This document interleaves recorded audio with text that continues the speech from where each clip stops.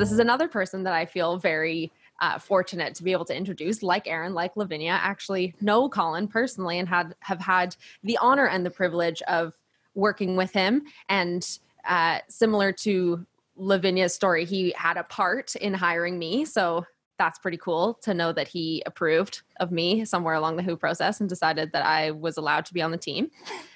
Um, but yeah, without further ado, Collin Stewart is, of course, co founder and co CEO of Predictable Revenue. Uh, he's the podcast host. Um, oh, I have a question Is this double A ISP or AAISP? AAISP. AAISP chapter president and failed musician in a funny, not sad way. Collin spent most of his professional career selling, 10 years, before founding a software company. He enjoys sales, marketing, and product management. Take it away, Collin. Thanks, Sarah. This is going to be one of the stranger uh, presentations I think I've done. And I'm just going to see, maybe you can hide your video so mine pops up here. Mm-hmm. There we go. It's just showing your image. Bear with me a couple of seconds. I'm wondering if I hid my Zoom for some reason. Stop video. It's not. Hang on. I apologize. Just want to make sure everybody can see. But if we can't, I'm just going to I'll nuke that, and you can use whatever view you like.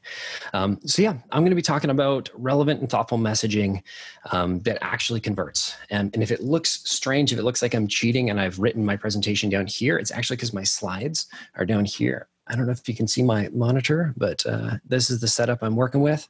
Yep, I'm what a convenient bed. setup. yeah, it's um, it's how we had to do things so we could get get everything up to Twitch, everything up to uh, and into Zoom. Hey, look, I can just look at my slides there. I can only see Collin and the slide. Okay, so you can actually see you can see me. Fantastic. Cool. I'm going to throw me into Twitch. I found the little graphic I was looking for. Perfect. So there's there's me twice. I could actually just do me looking at me and, uh, and get a nice creepy version of me there. Um, I'm not stalling, um, totally not stalling. Okay. So, why do you want to listen to this presentation? Um, or why do you want to listen to any of the ideas that I have here? Because if you don't, then good chances are you're not going to get any meetings, you're not going to get any pipeline, you're not going to get any closed sales out of your outbound efforts.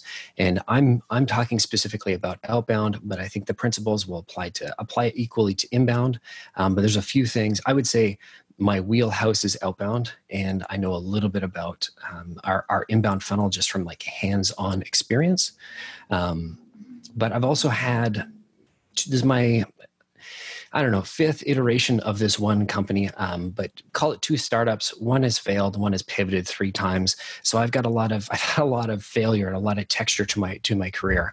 I know what it feels like to hit on product market fit, and I know what it feels like to grind without it. Um, just a, a, little bit of an example of some of that texture that I earned at a very um, uh, recent failure uh, was we had actually built a tool called carb.io and uh, and it was we were probably about a year behind SalesLoft and outreach and we decided to bootstrap it. Um, and we had hit on a really interesting uh, way of doing things.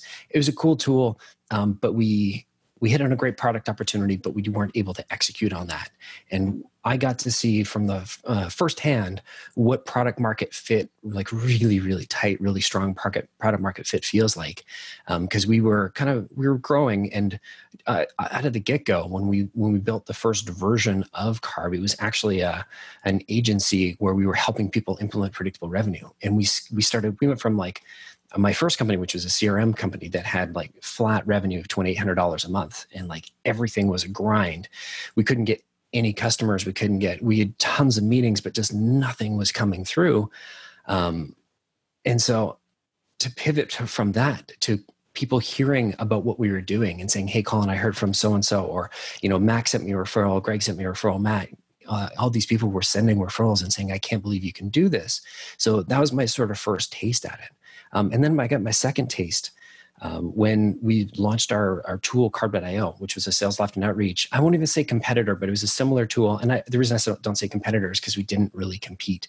Um, we were in the space, but we didn't really execute on the opportunity. Um, but we scaled. We went from zero to forty-five, sixty thousand dollars in monthly recurring revenue in about a six-week period. And so that's what I mean by like, I know what it feels like. I've seen it. Um, I, I got a little taste of it when we launched predictable, like the first version of Carb with our Accelerate and having that, that influx of people saying, Oh, I can't believe you can do this. And then watching that to the extreme when we launched the software product and then we couldn't actually um, it was the definition of product market fit is that there was so much demand that we couldn't actually keep the servers alive and uh, and it was our inability to keep the servers alive that actually kind of cost us a little bit there and so I've had the luxury of some texture to my early career, especially as an entrepreneur. Um, I've uh, we've we've had over a thousand customers, um, and we primarily help build the go-to-market strategy, specifically using outbound. And so, from a thirty thousand foot, twenty thousand foot view, um, and working with a lot of those customers, I've got to see some trends and things that have worked. I've had the luxury of d- digging into our data, and I'm, you know, we don't have the same volume that SalesLoft or Outreach might have in their databases. Um, but I've been able to get a lot closer to each one of our customers than uh, than those those two companies um, will have had, and I think that's provided, well, maybe not statistically significant. It's provided some really uh, really great experience and feedback on like things that work and things that haven't worked. Um, and then I also run a podcast, a shameless plug, predictable revenue podcast. I've had 150 sales leaders on there, and we've talked about what works and what doesn't work. Um, and so in the chat, if I'm remembering to do what Nathan Latka just showed me to do, I'd love to light up that uh, either the Zoom chat or the Slack chat and tell me what is something that you failed at uh, that's going to move your career forward lately. So it could be anything from you're struggling with the sales calls, you're trying to work out a new cold calling script, anything. Just let me know in the chat, light that up. I'd love to love to see what everybody is working at and failing at. And so why should you care about writing messaging that that actually converts? And and I think this is i am going to steal from uh, Travis Henry here. Um, he's the uh, COO over at Salesforce. If you, Sales Source. If you don't know Lars Nilsson, uh, they're phenomenal. Uh, part of the community. They were uh, Lars was big at uh, Cloudera back in the day, and um, I shouldn't say back in the day. He he built Cloudera from uh, a small SDR team to a very very large SDR team. They did a phenomenal job with it. And so he talks about SDRs don't add any value if you're just turning them into mini Marketos. If all they're doing is going into SalesLoft and outreach um, and just sending emails and sending emails and taking the list that you give them and brainlessly processing it they're not they're you're adding a human into the process where the human isn't adding any value um, and so it's it's crazy um, this is the opposite of why those platforms were built and so I'd argue that if you're just doing that, you may as well just use Marketo or Eloqua or whatever. And I, I don't actually think you should. I think the real answer here is you need to do three things if you really want to message or sorry if you really want to write messaging build sequences build cadences that are going to convert your audience from people that haven't heard from you to meetings in your calendar to pipeline to deals that are closing and adding to your customer lifetime value um, and those three things are really understanding your customer's reality, spending time empathizing with them, not just not just thinking about them, but actually getting in and digging deep, talking to them, and learning what really makes them tick and really what keeps them up at night. And then personalize when it makes sense. Um, I'm gonna I'm gonna just add that I really I think that good messaging is really three components. Um, it's relevant, it's thoughtful, and it's human. Um, and I want to give a shout out to two other talks from this event.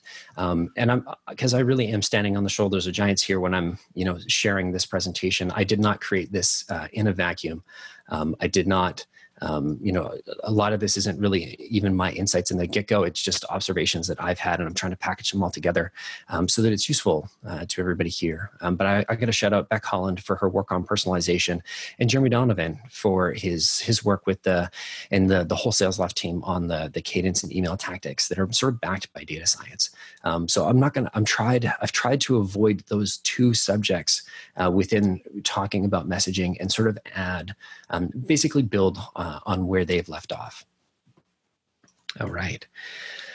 So, as I mentioned, I think good messaging, it's relevant, it's thoughtful, and it's human. Here we go. I forgot I added those slides. Um, but the first piece here is that you don't get to pass go and you do not collect $200 unless you have product market fit. And uh, if you missed um, Mark Roberge just talked earlier. Highly recommend it. We'll throw a link in the slides and um, throw a link in the slides and you can check that out. He had some mathematical ways of proving that you actually have product market fit. But I must share that one of the biggest learnings that I've seen um, over the last, specifically looking at our customers and just feeling through my experience, is that product market fit is the is the one big thing that really is going to move the needle. Um, if if you don't have product market fit, if you don't have something that the market and your customers need, then it doesn't matter how good the messaging is. It doesn't matter how much you test. It doesn't matter if you send gifts or or ebooks or gift cards or you're doing webinars. None of that matters unless you're actually uh, building something that people need and it's um, the value is so great that they're like their hair is on fire and your solution is a brick and there are no other solutions for them and so i'm going to you know the pain is so much that i'm going to use this brick even though it's a crappy experience to put the hair out or to put the fire out on my hair. Um, and I'm going to remind everybody Marc Andreessen's quote that really the only thing that matters is product market fit. It means, and product market fit, as he defines it, is being in a good market with a product that can satisfy the market and customers are buying it just as fast as you can make it. So, with that being said, the first step here is we need it to be relevant, right? And when I think about relevance, you know, we look at the we look at three hypotheses when I think about being relevant. And so this is assuming we have product market fit, because um, I, I, do believe you can have product market fit, um, but still not communicate that to your team. And if your sales team doesn't understand why you have product market fit or how you have product market fit, or doesn't understand the customers, then the messaging is going to be off. The reasons they're reaching out are going to be off. And the things that they're saying are not going to be relevant to the customers. And so when I think about relevance, I really think there's three components. It's targeting, it's need, and there's message. And I'm just gonna I'm gonna walk you through how those all fit together. Right. And so when we look at the targeting hypothesis, because there's this significant amount of overlap here, right? We look at the the company, the persona, the persona being the individual, the avatar, the the set of job titles and uh, that that you are selling into and what are the responsibilities and I, I, can't remember who it was but we had a speaker that was talking earlier um, guillaume guillaume I think where he was talking about going to job postings and looking at what their actual responsibilities are. I think this is one of the best things that you can do to help build this understanding. But I also believe that it's only a single point, and I'm going to get into that shortly. Um, so really, it starts with the targeting hypothesis: who is our target audience, right? And then it build to building on that. So for this target audience, what do they need, right? What is the gap? What is the you know, um, there's a, a great quote in Miller Heiman that talks about when they're talking about you know the reasons why people buy, and they say the only reason that people actually buy anything is because there's a delta between their current reality and their expectations, right? And so, what is that delta? Help me define what is the gap that's in their life. And then the messaging hypothesis builds on top of that need, right? And so we're thinking about, okay, well, this is the need that we've identified for our customers. How are we communicating that? Right? And there's a bunch of different pieces um, that can go that go into these chains, and I'll walk you through a little bit of them now. And so, the first piece we've talked about this is within the targeting within the targeting these are details and, and maybe i'll back up because this is part of this is how we actually build our market fit matrices um, when we're when uh, you you if you were just on for Lavinia's, this is something that her and Kenny had built out, which is our our outbound validation program, um, and she and they've they basically built this to help companies um, identify new market opportunities. And what they what we did in that program was essentially come up with 40 hypotheses using each of these columns. We basically work out this big matrix. Um, it takes hours of interviews with the, the customers, with the prospects, um, with the individuals at the company, um, and we come up with basically tons of hypotheses, and then we stack rank them, and then we design tests to to test and validate them and get some data. Right, and so this is where um, this is where my um, this is where this methodology is is coming from. All right, and so the first step is to identify how do we come up with the targeting criteria for the company that they work at. The next step, and that's your basic, you know, firmographic data, and and I, will caution you on um, when you're coming up with with um, your qualification criteria, make sure you're differentiating between sort of targeting criteria and qualification criteria. If you're trying to put we're only selling to left-handed guitar players, um, that might be relevant for Fender. Um, but if you're in a B2B environment, make sure you're coming up with those targeting criteria that are filters that and drop downs you'll be able to find in tools like zoom info so that you can actually build this from a list because the the this is useless unless you actually put rubber to road. And if this just turns into a thought exercise where nothing actually changes you don't get any any messaging. You know you don't actually if your sales team doesn't actually use this messaging if you don't test and validate this um, then it's just a just an exercise. Uh, it's a you know may as well be something we've done in school and not actually put into practice and have a big influence. So i want you to just pause and take a look at this and think about which one of these in your messaging where does your messaging break down? So i'm going to pause to take a drink of water and think where where do you think you need to focus the most Perfect. So we talked about the company. The persona is basically how we identify the individual. These are the job titles. It could be tenure, it could be seniority, it could be a number of things based on how deep you want to go. And I'm going to rush through because I've got a few more slides, or I've got a, quite a bit more, and I could honestly spend just an hour and a half um, on these on these categories themselves. Um, and so, basically, how do we identify the individual? The next step is basically is if you think about that individual, right? And so I like to when I when I imagine these sort of chains, I like to think about them as like I'm building a I'm building a story, right? It starts with a company, okay, and I'm thinking I'm imagining this type of company, okay, and then I'm I'm imagining this individual at this company, and then I'm imagining, okay, well, okay, so I'm I'm I'm thinking about Sarah, and Sarah's the VP of sales at this company. Okay, now I'm thinking about what was Sarah hired to do, right? What's her area of responsibility? Right? Why why is why is she there right? What ties her to the role? What ties her to the company right? And then i think okay well if sarah's sarah's job is probably you know among things is oversee the oversee the rev team oversee the sales team hire salespeople hit quota. Um, depending on the size of company she's at it might be like she's probably involved in strategy and hiring and tooling and all and tooling decisions. But chances are she's pulled up quite at a high level. It's probably just kind of budgetary at that stage. So I think about what are all the things in Sarah's kingdom? And then I think, okay, well, so now that I understand Sarah's kingdom, what is she trying to achieve this quarter, this year? Because again, if we think about our markets and I think about the individuals, I think about all the companies that might meet my target criteria, there are only a small percentage of them that are actually going that where their goals are going to line up with what we're doing. And so what I need to understand are like what are Sarah's particular goals and um, and what are the goals that are going to align with what our product uh, can do. Um, and so, if I'm thinking about, and those typically stem from the responsibilities. And so, if Sarah's job is to grow revenue or build the revenue team, or like Mark was talking about earlier, to go from two reps to 10 reps, or to hit a certain um, customer L, uh, CAC to LTV ratio, right? I'm going to look at, okay, what is that goal? Right? She's probably got a number that she's getting bonused or quote or like has a quota for, and is going to see, you know, if she she really hits it, she's going to see a big number on her paycheck. Um, and then from that goal, there's probably specific things that she's going to do to hit that goal. Um, and so let's say it's it's grow from you know two to ten sales reps. Not the greatest idea because I know Mark had actually talked about most startups um, not um, that not being the smartest thing. But let's say we're trying to do that over the course of a year because she's got you know her quota um, yeah, and she's she's gone through and done the math, and that is the right move. All right, so the goal is to grow revenue. Her goal specifically is to grow the grow the rev team.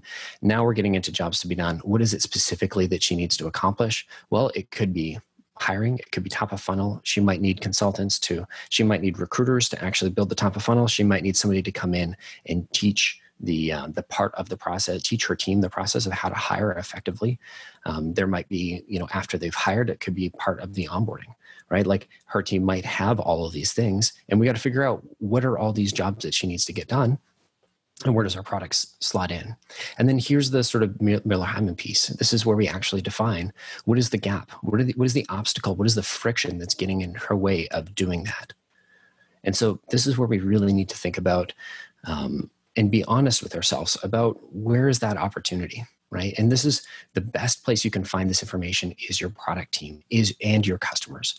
And the hope is that you're and, and what yeah, what you'll find in most cases is your product team has talked to customers. They had this critical insight, and customers said, "Yes, you know, this piece is a pain for us, and it's um, we are this satisfied with it, and it's this important to us." So you can kind of map it out there. Um, but if you don't have access to your product team, or you just want to go right straight to the horse's mouth, go talk to your customers and talk to them about what was getting at, and ask them before you bought our service. What, what were you doing? What was getting in your way? What what did you accomplish? Um, and that's really going to help you start to build this sort of this empathy for what they're doing um, and why they're doing it. And then the last piece in, in this chain is just how so basically with the with the obstacle you're thinking about how how we quantify and how we calibrate or how we quantify that pain. And then the product and service the last piece of the chain is how do we solve that pain right? So you create the gap and then you close the gap Perfect. And so that's that, that's my thoughts on how to be relevant. The next piece here is that it's got to be thoughtful, right? And I think there's sort of two pieces here. Um, we want this to be emotional, right? You want to understand. If I go back to this, oh, I can't. Uh, where's my back button? There we go. If I go back to the job to be done, I really want to understand the the the emotional impact of the obstacle of that friction right? I don't want to just say, oh, I know you need to hire, so here I can help you hire 10 people.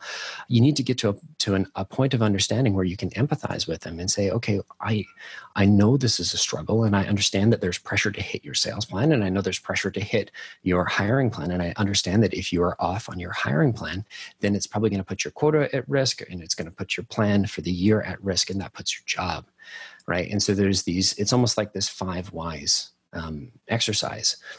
And and you can go all the way down to the personal level of like you're going to get fired and you're going to be homeless and then your kids aren't going to be able to go to school and blah blah blah blah blah.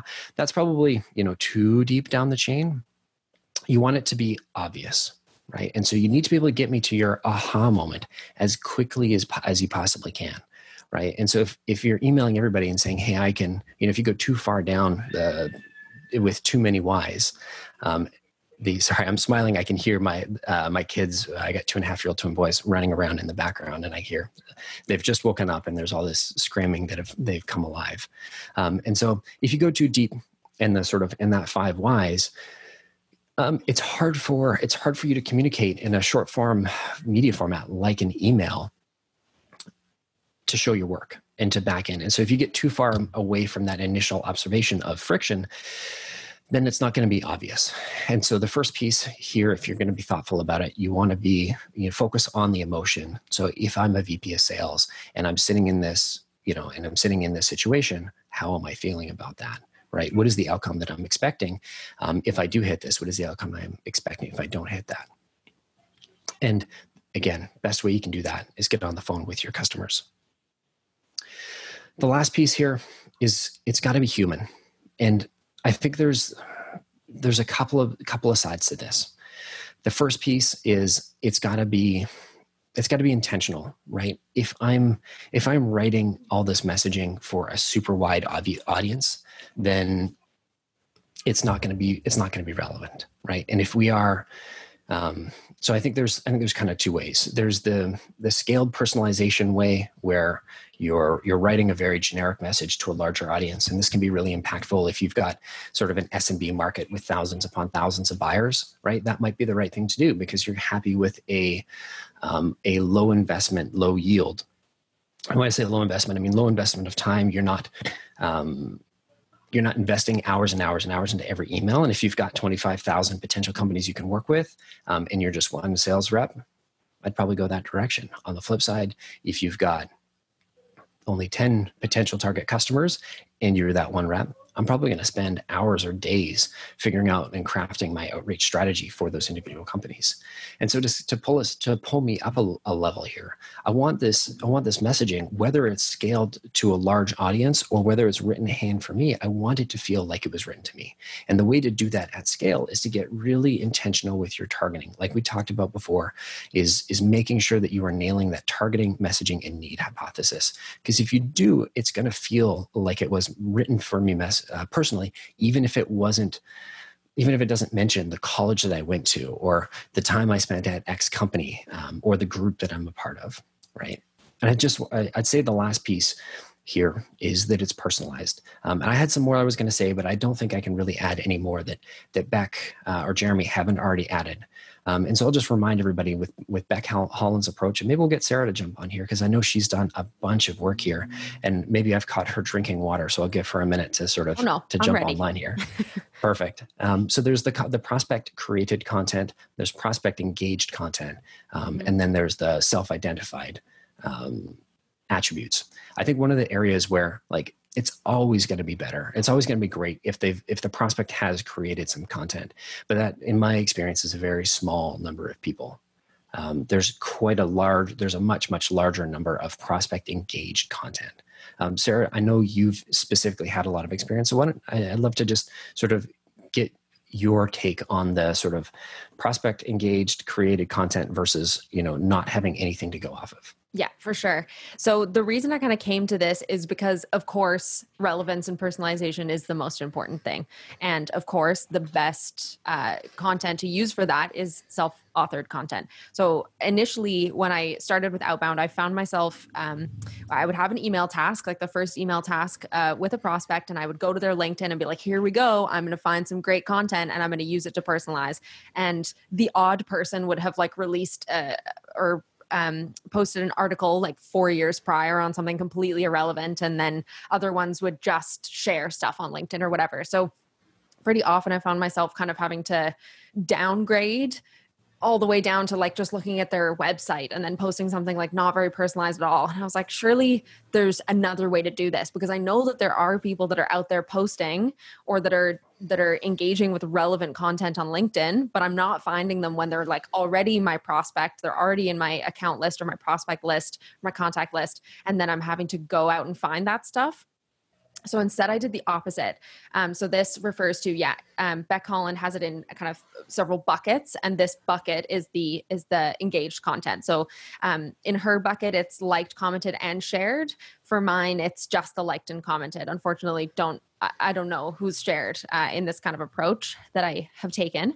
Um, but basically, what I did was followed thought leaders that were active in the space that I work in and that I'm prospecting in um, because they have high engagement with uh, with people on LinkedIn that, that are my ideal customer.